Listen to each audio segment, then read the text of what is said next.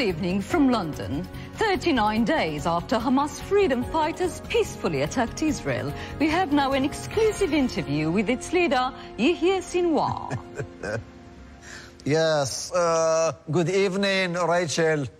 Good e Let me just uh, correct you. Oh. There were also freedom rapists and freedom butchers. Of course, of course, I apologize. Mr. Sinwar, I understand that you are now working towards a ceasefire. Yes, uh, Rachel, you know me. Wherever there is fire, I say, let's seize it. Oh. All we are saying is give ceasefire a chance. The fire must be seized. Yeah, the situation in Gaza is terrible, Rachel.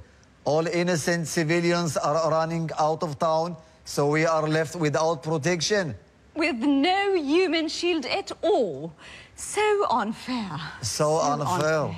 And our hospitals, Rachel, our, our, our schools, all run out of rockets. Oh. How are we supposed to kill Jews like this? I mean, with lectures? Actually, we've tried that one. Didn't work. I plead to the world. We need a ceasefire. We are tired. We need a break. Don't forget, we started a day earlier than the Israeli. So a day earlier. unfair, so unfair.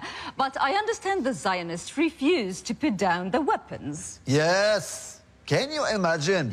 Can you imagine all we want is a little time to rearm before we continue to kill them and they won't let us. Uh, I, am sorry, Mr. Sinwar. I can't hear you. The, all this noise in the background. Yeah, I, am sorry, Rachel. There is a there is a baby here.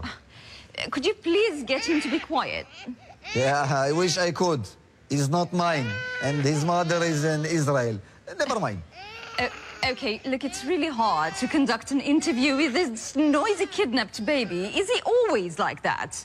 Oh, at night, it's even worse, Rachel. Every time we fire a rocket, he wakes up. Oh, no. I didn't have one good night sleep in a month. Wait, uh, are you telling me that there is an Israeli baby that's torturing you by sleep deprivation? What? Yes! Occupying your house? I was. So unfair, so, so unfair. unfair. And the world does absolutely nothing about it.